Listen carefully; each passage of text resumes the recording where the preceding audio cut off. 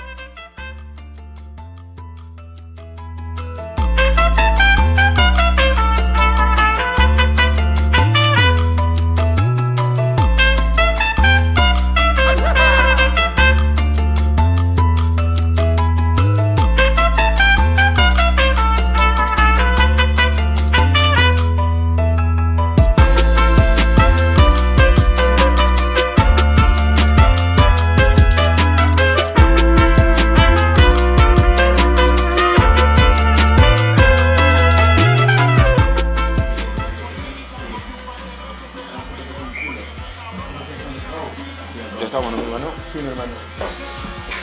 Nos vemos mañana, nos vemos mañana. Nos vemos mañana. Dale, claro.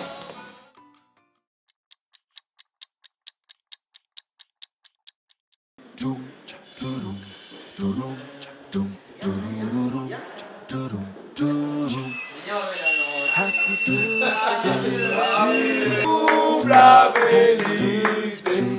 estoy quedando sin brazos. De nada, mañana. Happy birthday to you. Happy birthday.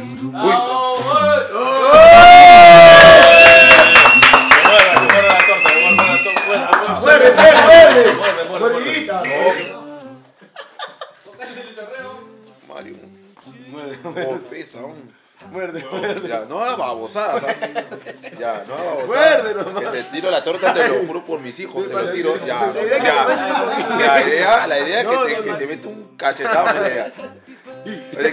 ¿De qué? ¿De qué es la torta? Este... Ya chiquita.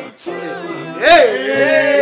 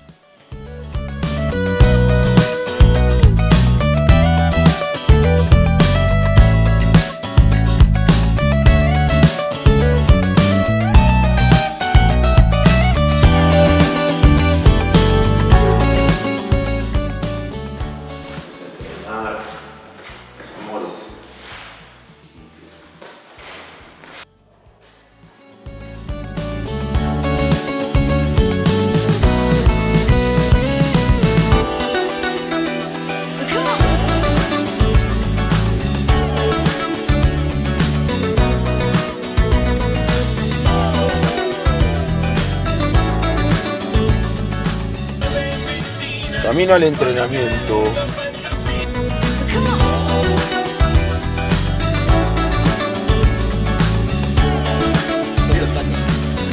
Yo, gracias amiguito.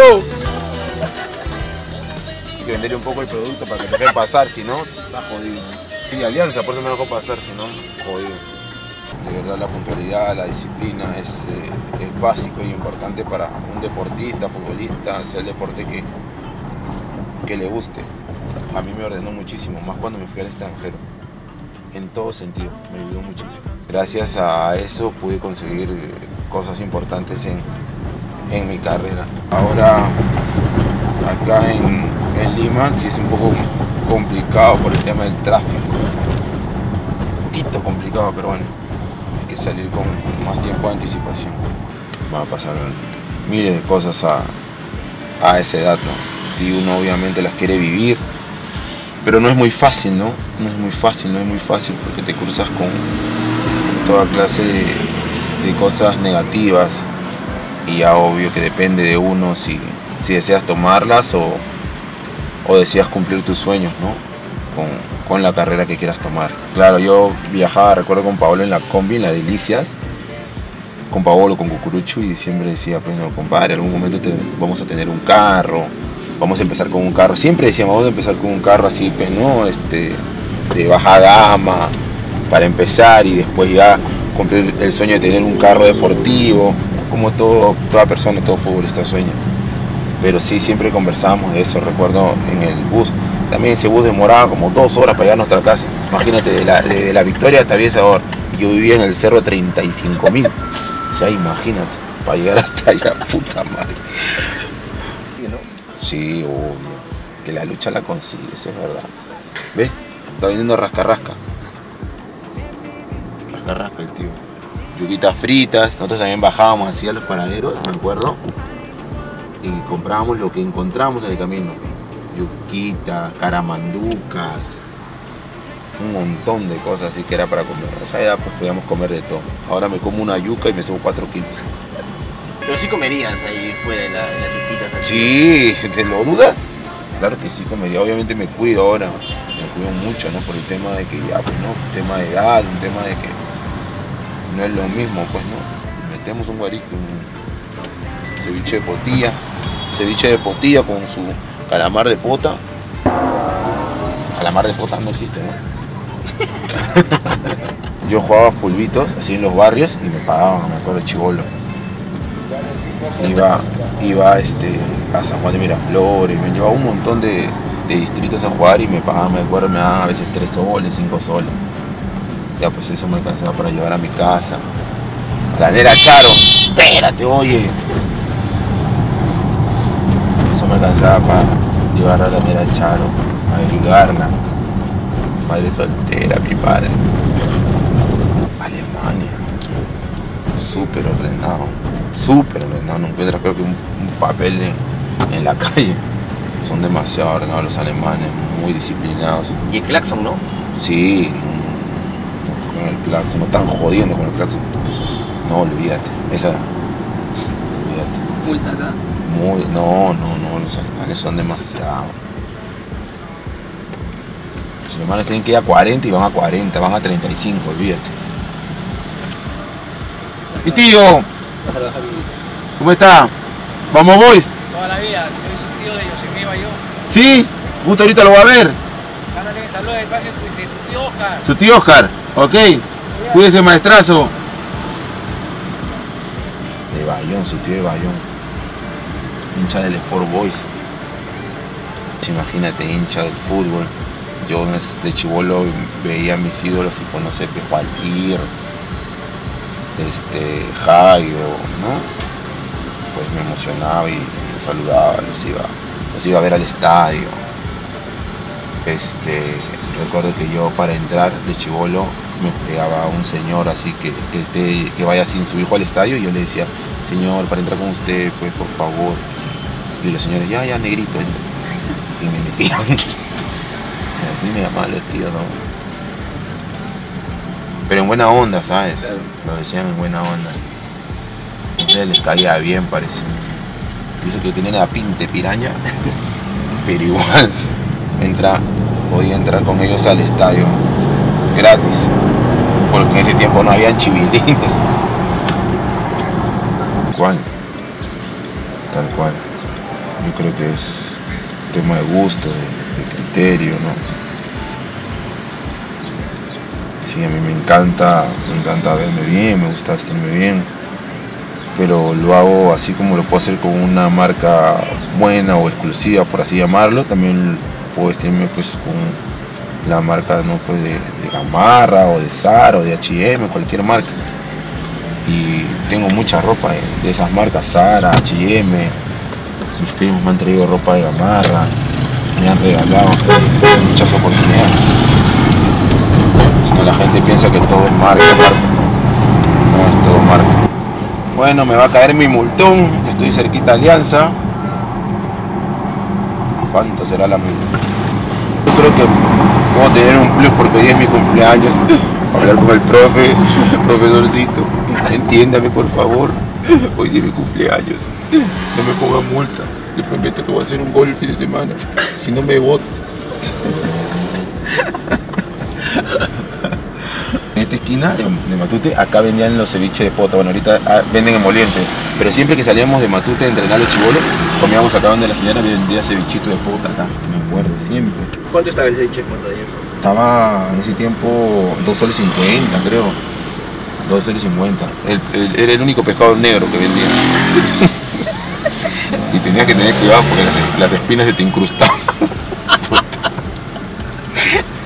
era un pescado de pota con espinas. Y la chicha, y, y su rica chicha de la tía.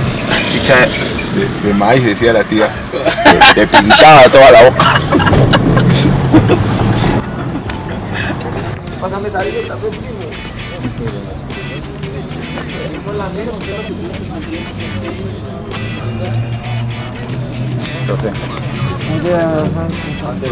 Tiene más empeño.